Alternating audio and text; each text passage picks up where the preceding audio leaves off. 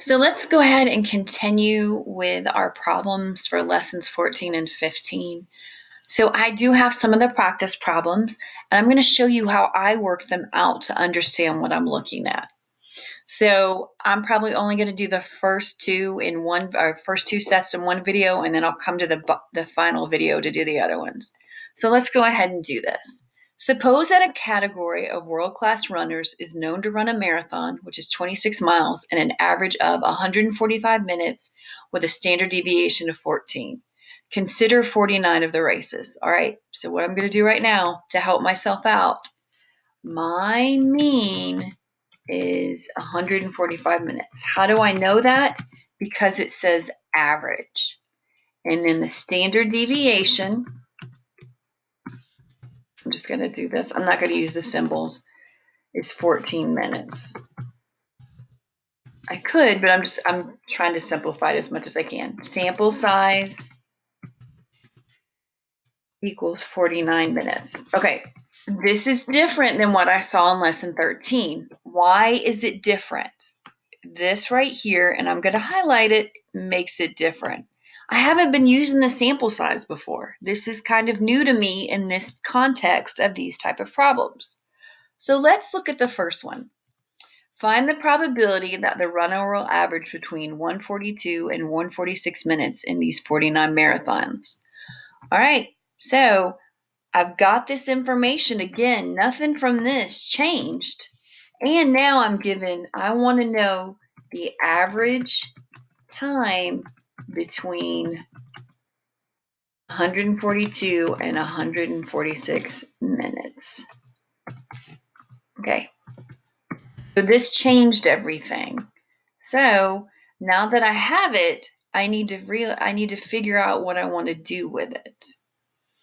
So I'm going to bring up my calculator and I'm going to have it on the screen. Let me move it over so you can still see the problem. All right, I'm going to turn it on. So I know for a sample size of 49, that's going to equal the square root of 7. All I did is I just saw that. I'll show you on the calculator right fast to help you. So I do second square root, and if I do 49, close the parentheses, I get 7. This makes my life easier when I want to put it in. Okay, because I have two values and I want to find the probability. So that means I'm going to go to, oops, sorry about that, second distribution, and I'm going to go down to normal CDF. Okay, my lowest value that I want to find between is 142. Sorry about that. I don't know why it keeps doing that. 142. And then I want to go all the way to 146. Okay, comma. I'm going to put my mean in and then comma, I'm going to, I need to put my standard deviation in the new form. Why does it need to be in the new form? Because I have the sample size. So I'm going to do this. I'm going to put a parentheses here. I'm going to do 14 divided by 7. You can, I'll show you. I'm going to go back. You can do the second 49 and then close the parentheses but remember, at the end, you're going to need three parentheses because you have one here, you have one here, and you have one here, and you have to complete it in the thing. If not, you can get rid of the square root 49 and just put 7 under the 14. And then I hit enter. So what do I get then? I get 0.62465, which this becomes 0.6247. Okay. That's how I solved that first one. Okay, but now it wants to know the 80th percentile. All right, just going to take this from again. I'm going to put it down here so I keep all my stuff straight. But now I want the 80th percentile.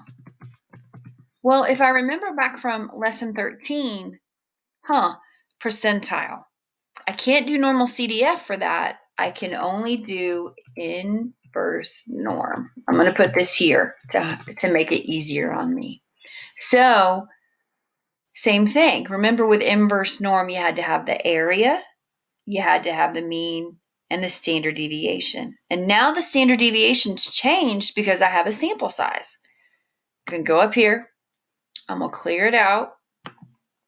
So I'm going to go second distribution, and I'm going to go down to inverse norm.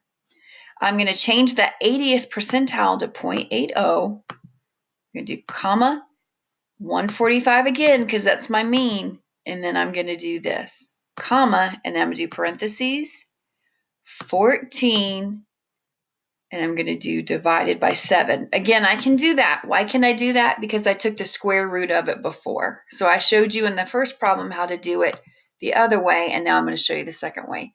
And then I'm going to put another parentheses behind it to close it. Hit enter.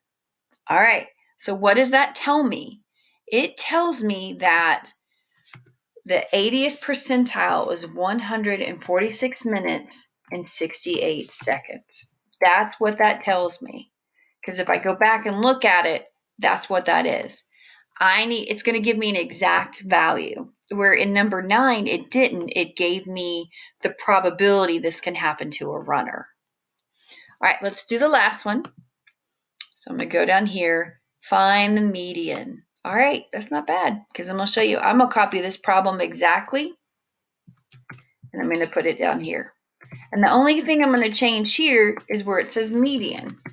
And remember, when you went back to one of the original lessons we did, the median is the breaking point where 50% of the data is below it and 50% of the data is above it.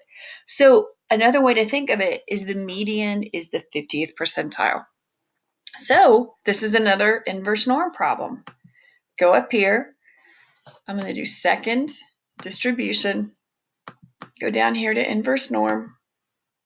I'm going to do 0.50, comma, 145, comma, and then I'm going to do the same thing again. 14 divided by 7, and I'm going to close the parentheses, and I get 145. So the answer for this one is 145. Okay, that was lesson 14. The big difference for lesson 14, and if you look at my screen, it's in yellow, is sample size. That's the big, big deal. That's what makes this different from lesson 13. So let's go down here right fast. I, I provided you some questions from lesson 13 to help. So let's do what we did before. I don't want to make this video too long, but I want to make sure everybody understands. All right. So I have a mean.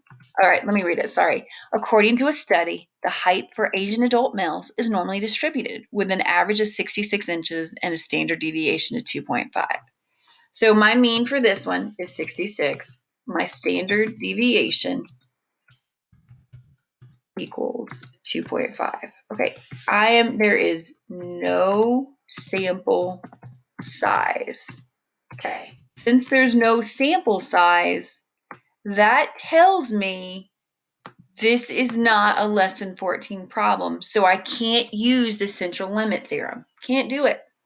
It's just not what I can do in this because I don't get I'm not given a sample size.